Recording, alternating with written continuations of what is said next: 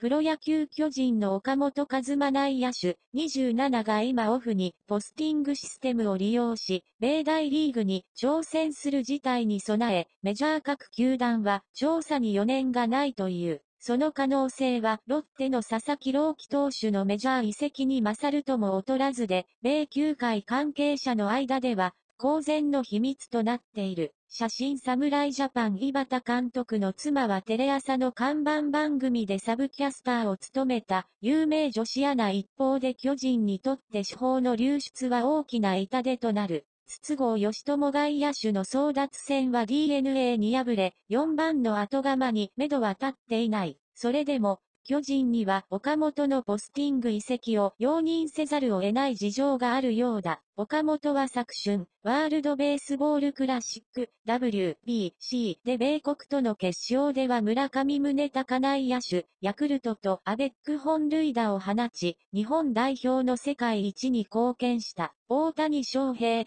当時エンゼルス、ゲンドジャースらと共に野球の本場である米国でプレーしたことで一段とメジャー志向が強まった。WBC 制覇後の帰国会見では野球ってこんなに楽しかったんだなって思いましたと語っている。実際、昨期終盤にはポスティング移籍の可能性が表面化した MLB ネットワークの敏腕記者ジョン・モロ氏が9月複数のメジャー球団が岡本の2023年オフの移籍に準備し、身辺調査を行っていると SNS で綴ったのだ。サルベイ大手マネジメント会社の代理人が証言する WBC をきっかけに岡本のメジャーに行きたい気持ちが増したことは MLB 関係者の中ではよく知られています。岡本がホ、フリーエージェント、剣を取るまで渡米を待たないという見方がほとんどです。大きな故障や極度の不振でもない限り、今オフのポスティングによるメジャー挑戦は規定路線と言えるのではないでしょうか。岡本は最短で26年オフにメジャー挑戦が可能になる海外保険を取得する。しかし、27年の開幕時は30歳になっている。メジャーでは30歳を過ぎると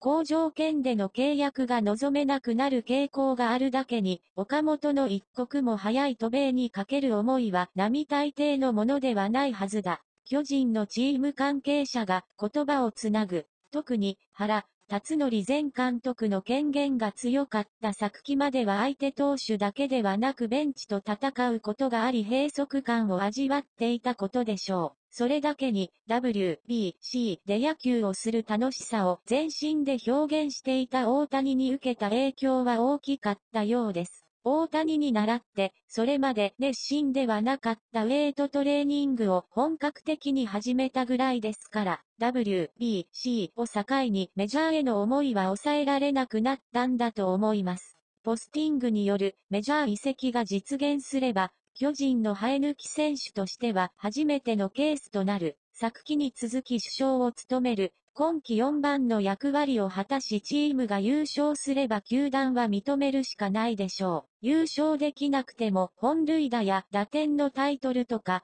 個人として一定の成績をクリアすれば、これも認める流れになるでしょう。そうしなければならない事情を抱えていますから、同関係者、かつて巨人で海を渡った選手は、当初、松井秀喜外野手、上原浩二、高橋久則両投手のように保険を行使してのものだった。それが19年オフ、生え抜き選手でなかった山口俊投手の契約書に盛り込まれていたとはいえ、ポスティング移籍を容認したことで流れが変わった。菅野にポスティングを容認した過去、20年、巨人一筋のエース、菅野智之投手に対し、生え抜きとしては初めてポスティング移籍を認めた。最終的に交渉が不調に終わり、菅野はメジャー挑戦を断念したものの、この時、球団が下した決断は現在に至るまで重い事実として、球団の歴史に残っている。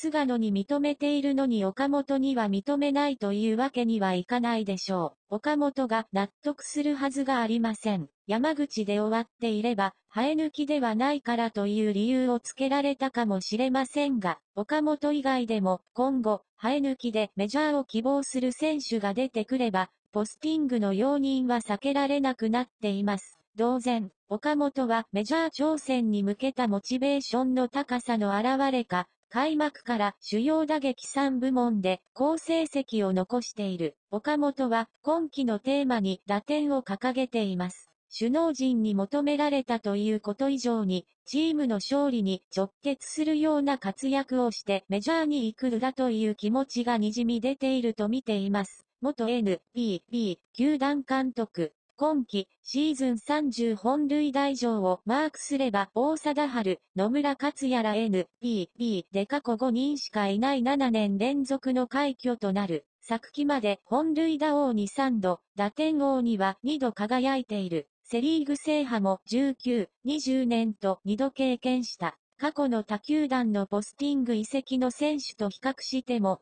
個人タイトルとともにもはや NPB でやり残したことはないだろう。今季は原監督が続投し、中田小中日が残っていたなら中田が一塁で岡本が左翼につく構想がありました。実現はしませんでしたが、岡本が1、3塁以外に外野を守れるということはメジャー球団との交渉時に有利に働くと思います。打撃面では上位打線が難しくても6、7番に入って得点源になる役割なら需要があります。今なら鈴木、聖夜外野手カブスや吉田、正直外野手レッドソックスに近い契約も可能でしょう。前での代理人、優秀の美を飾り、念願のメジャー行きの切符を手にできるのか。今季の巨人では安倍晋之助新監督の下で V 奪回を目指すチームと共に、手法の動向から目が離せなくなりそうだ。